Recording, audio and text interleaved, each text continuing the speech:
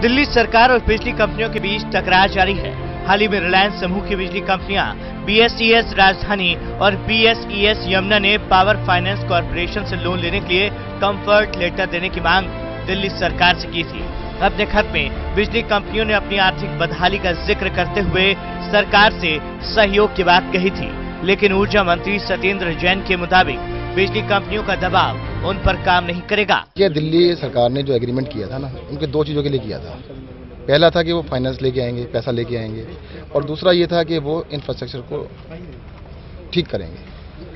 ये लगता है कि ये तो उनका प्राइमरी ड्यूटी है, पैसा लेके आना। हमारे इसमें क्या इन्वॉल्वमेंट आ गई? Why should we do anything मेरा तो कोई, मुझे लगता है कोई रोल नहीं उसके अंदर। आप पढ़ लीजिएगा, जो, जब हुआ था प्राइवेटाइज हुआ था 2002 में शायद किया गया था, तब सबसे प्राइमरी ड्यूटी थी कि दिल्ली सरकार का पैसा नहीं है। कि ये लोग पैसा लेके आएँगे, ये उनकी पॉकेट बड़ी डीप हैं। अगर सरकार से ही कुछ चाहिए तो फिर तो क्या ज़रूरत थी? ये जो उनकी ड्यूटी है, वो उनको करनी पड़ेगी। ये कोई तरीका नहीं है कि ये आप कहते हैं वहाँ मरोड़ के काम करा लेंगे, ऐसे डरने वाले नहीं किसी से। बिजली कंपनियों को करीब ग्यारह हज़ार करोड़ रुपए की दरकार है। बिजली खरीद के लिए कंपनियाँ वित्तीय संकट से जूझ रही हैं। पीएफसी से लोन मिल जाने के लिए कंपनियाँ पावर जनरेशन कंपनियों को पैसा दे सकेंगी।